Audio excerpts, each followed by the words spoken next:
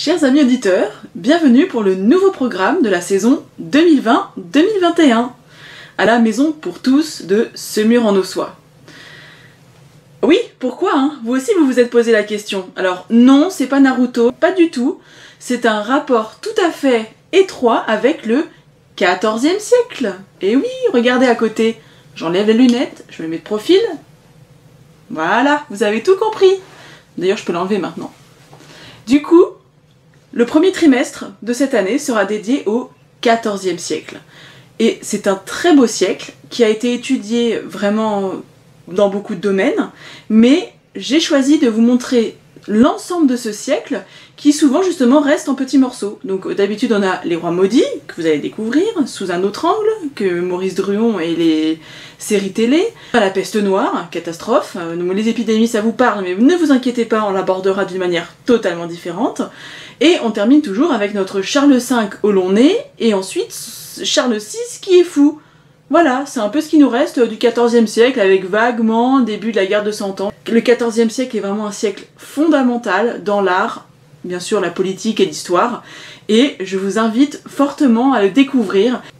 Ça, c'était le premier trimestre sous l'angle de la chronologie. Au deuxième trimestre, cette fois-ci, les amis, voilà. Alors non, non, je ne m'entraîne pas pour euh, prendre l'avion et faire un vol de 12 heures, pas du tout. Je m'entraîne pour rencontrer Zeus.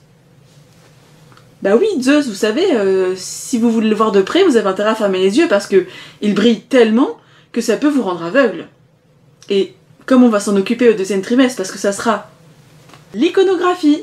Alors, 5 séances sur l'iconographie mythologique, et cette fois-ci, je vous ai placé Zeus en première place, de toute façon, c'est toujours lui la première place, avec euh, d'une part euh, ses compagnes, ses vraies épouses, euh, ses amantes consentantes ou pas, et on va terminer sur les douze travaux d'Hercule, ou d'Héraclès, puisque c'est quand même le fils de Zeus, et que finalement, on, connaît tous le terme, mais est-ce que vous êtes capable, vous, de sortir les douze travaux? Moi, j'y arrive pas non plus, hein, je vous le dis tout de suite.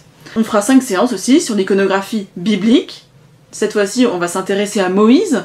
Moïse sauvé des eaux, Moïse pourquoi a-t-il des cornes?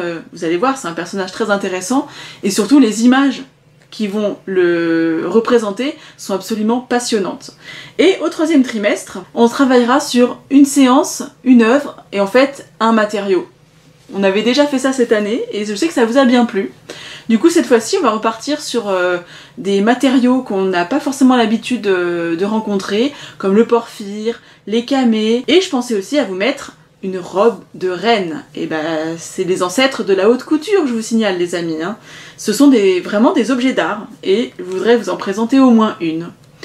Donc ça, c'est le programme pour la Maison pour tous, que je remercie de tout cœur, en espérant bien sûr que nous ne serons pas obligés de prendre un parachute pour pouvoir ensuite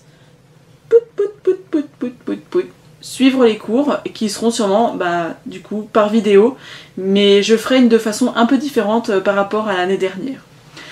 Merci chers amis auditeurs d'avoir euh, subi euh, toutes mes pantomimes avec ce masque qui est propre hein, je vous rassure et j'espère vous voir bientôt